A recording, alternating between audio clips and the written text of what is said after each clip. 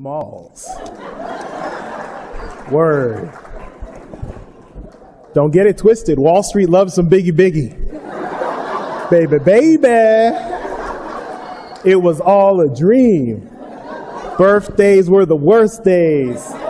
Now we sip champagne when we're.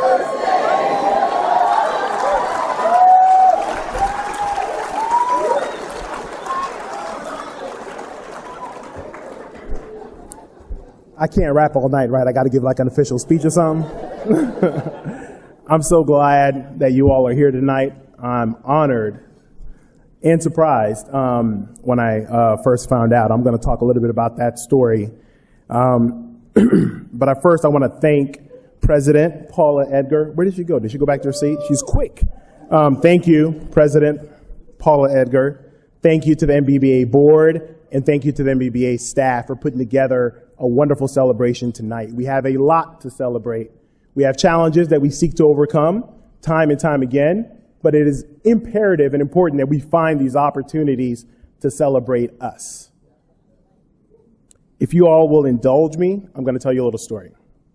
Um, after I got the call from Paula, President Paula, um, inviting me to um, accept this prestigious honor, I was very honored. I was excited. Told a couple friends, told my wife. I went home that night. I woke up the next morning and I was a little more ambivalent. So I, I went to my desk, I composed an email, and I sent a note to four people, four of my board of director members, um, sharing my thoughts and asking for their counsel and their advice. Um, I actually have the email here, the printout from the email, and uh, I actually want to read this to you all. I want to read their responses. First was Jim Breedlove. He's a mentor and a friend. He's a, a, fellow Davis Polk alumnus. He's a retired general counsel from Praxair, a Fortune 500 company. He currently sits on a public company board, and he won. He received this award several years before me. He was going to be with us tonight, but um, something came up. Those of you that know Jim, not only is a smooth brother, not only is he one of the smartest brothers that you may ever meet, but he's quite analytical, and it was in his response. He said, Nate, it's commendable that you have a great sense of humility despite A, your significant professional accomplishments, B, the mentoring of younger black folk within and outside of Morgan Stanley, and C, the huge amount of work and dedication you devoted to bringing young brothers together to advance fellowship for the in the trenches experience sharing and for career enhancement. But my take is that the extensive work you've done in the B and C areas alone qualify you for a Trailblazer Award. You know, I had to go back and read it like two or three times, make sure I understood all the points he was making. He said, remember that there's no hard and fast standard of how far one needs to be in their career to qualify for that award. Many past MBBA Trailblazer awardees, for example, may have been older than you or have advanced further in their careers, but not made nearly the same impact on other young black folks' lives as you've made. So net net, I see no reason why you should hesitate to graciously accept this distinguished award. It's well deserved. Second, Carla Harris, Vice Chairman of Morgan Stanley, Senior Client Advisor, one of the baddest investment bankers on Wall Street. I've had the privilege of having her as a mentor and sponsor to me for a number of years. Also a very energizing woman her email response read as follows. First of all, congratulations, all caps, exclamation point, exclamation point. Second, you should do it for all the reasons you cited and because you don't know who will be inspired, motivated, and will believe in themselves because they hear your story. Oftentimes, when we are nominated to these lists divinely, it is not about us at all, but for someone else. Lastly, you deserve it and you should accept that someone else has recognized it. Remember, somebody else didn't get the call. Third, one of the best executive search professionals, the newly minted Major Lindsey and Africa partners, Sonia Soam. Sonia, where are you? Holla, holla so I can see you. Over there. Sonia has become my personal coach, um, personal and professional coach. She shares a lot of insights and helps me navigate my career. Um, do it. You deserve it. Remember, the more accolades you have, the more prestige and attention that you can bring to your efforts on behalf of the community, and for your own career, and to inspire others, including sweet baby pie, which is my daughter.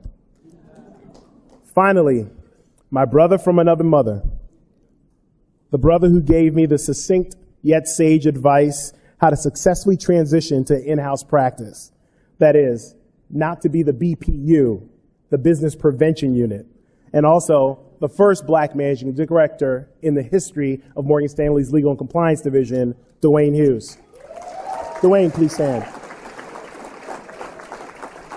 My man.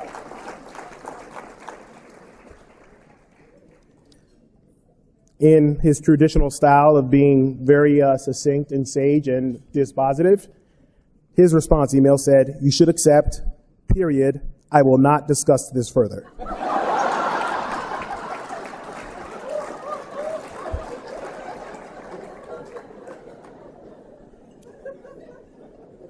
I wanted to share that experience with you all because that's my cohort. Those are the people that I have been privileged to have into my life who have made the decision that they're going to take their hard earned insights and experiences and share them with me. That they're going to give me the privilege and the honor of learning from them so that I may do a little bit better. So when I think about the theme tonight, when we're talking about the legal diversity pipeline, I am the pipeline, right? it's an improbable journey that this young boy from Brooklyn, this first generation American, the son of Haitian descendants, Haiti chérie, sac passé, would be standing here before you with the successes that I have achieved. Indeed, it was hard work and sacrifice on my part. Our family has felt a toll but this wouldn't happen without many of you.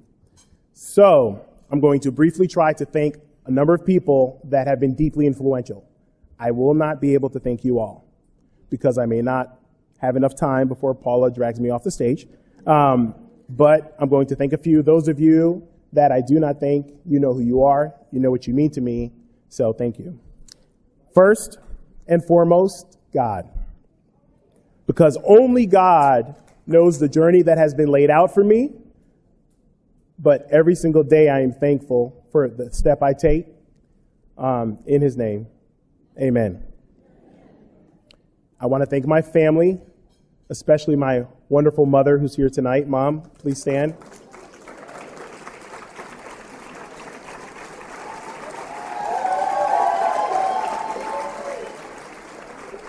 Nicole St. Victor, the life lessons that I've gotten from this woman are innumerable, invaluable, and immeasurable. But it's really the precious, the precious love that you can only have from a mother that has driven me for so many years. And many times I ask my mom, how do I pay it back? How much does it cost? And every single time she has only one answer for me. What is it, mom? no charge. Shirley Caesar. To my beautiful wife, Dr. Christina Altaviz Twyman St. Victor, please stand. She's not going to stand. She's waving, but she's not going to stand. But she's right here for me. She was foolish enough to say, I do. I'm an opportunist, so I took it and ran with it.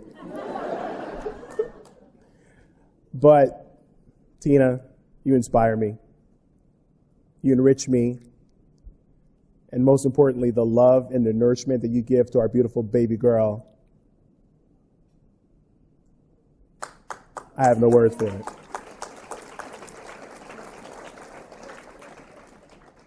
To my two year old baby girl, Regina Claire St. Victor. We didn't bring her tonight. There was a debate. Tina won. As you can tell by the Biggie dance, I'm the more reckless of the two. she is strong. She is confident. She is smart and she is kind. That's our morning ritual. Every day I do that with her. And some of you may not know, but I don't live in New York City any longer. I commute to New York for work. Um, and so I have days where I'm here, nights where I'm here, and I don't see her every day. But I always feel her presence. I feel her presence right now on this stage with me because she is my everything. She is the driving force now for everything that I do. And it's a blessing. All right, who else we got? To my Duke crew and my Georgetown crew, stand up. Duke, Georgetown, in the house, especially Janine Conley. Uh, I'm sorry, Miss Chair of the New York Urban League Board of Directors, Janine Conley.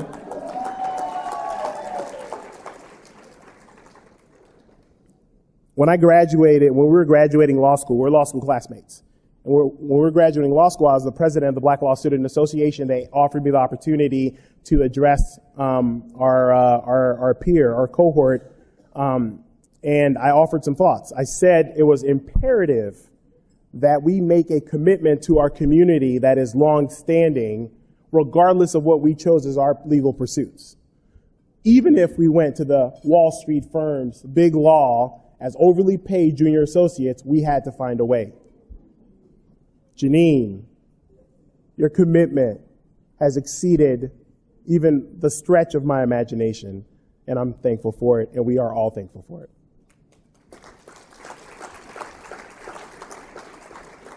To my Davis Polk family and alum, where's the Davis Polk table? I cut my teeth at Davis Polk. They gave me a best in class training as a securities attorney, uh, which has carried with me for the 15 years that I've been practicing law. I am thankful for them for that, and I continue to benefit. They are one of my outside counsel.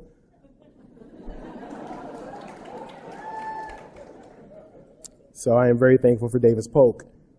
There are several law firms in this room that um, support me in my business, that uh, that do my work. Uh, I just want to name three. Sidley Austin. Where's Sidley? Patrick Michelle.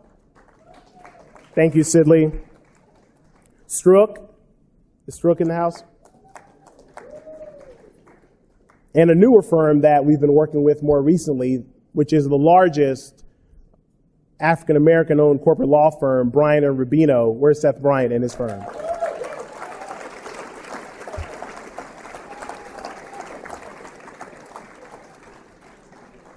To my Morgan Stanley family. What's up, fam?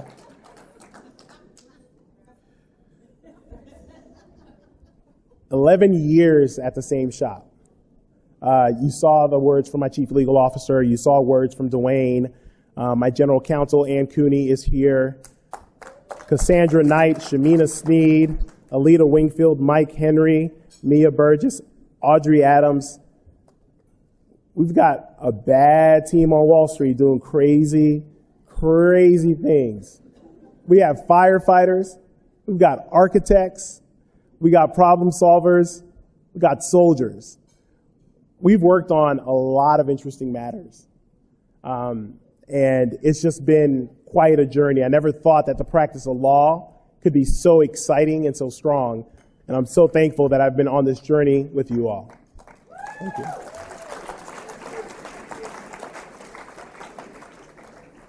To the chief diversity officers that are here, so many of you are the first responders. You're the line of defense. You're the innovations, the innovators that are coming up with the best strategies for us to try to achieve equality and level the playing field so that diverse talent can have a fair shake at success, so that we can be in the boardrooms. So I applaud all of the chief diversity officers from the stalwarts like the Anna Browns and the Maya Hazels and the Malik Jones and the Carlos Davia Caballeros. I can't ever pronounce his name, but I love that brother. Where's Cleary? And then there's the, the new generation, right, of diverse talent. You talk about pipeline. DeAndre, DeAndre Carr is here tonight. Watch out for DeAndre. I want to briefly mention a few legends. Most of them are not here tonight, but I have to say their name. Macy Russell, who actually is here tonight. Thank you, Macy, for coming in from Boston. Wharton Bellamy, Ben Wilson, Bill Snipes, Rhonda Joy McLean, Sheila Boston, Chris Reynolds, Dick Parsons, Vernon Jordan.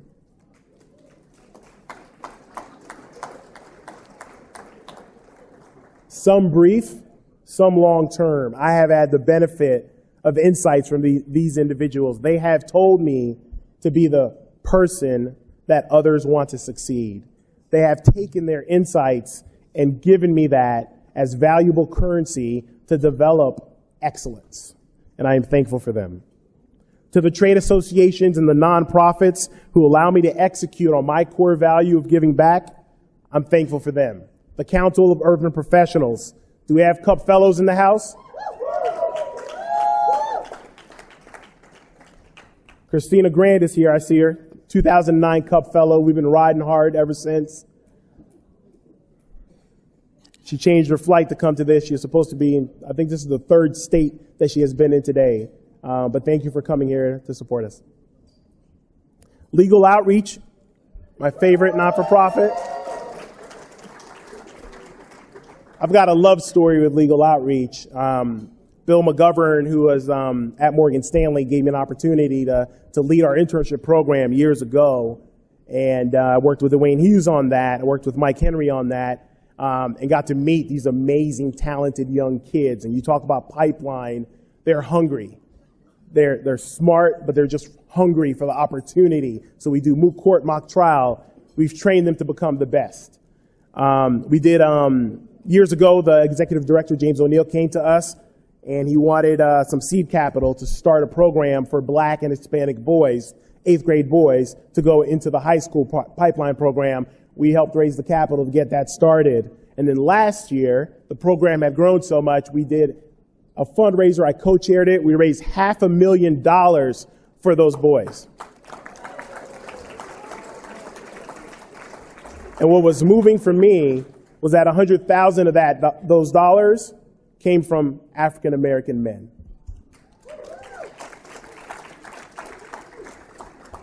to NAMWOLF, to SIFMA, and to the New York City Bar Association. Bret, I don't know where Bret is.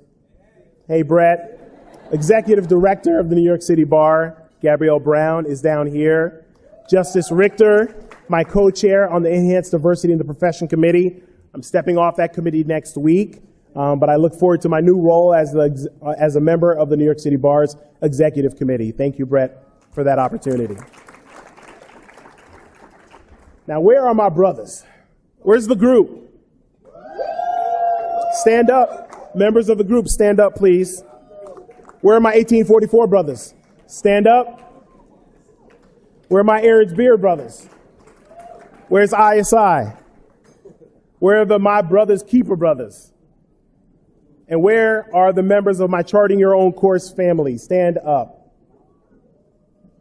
They say it takes a village.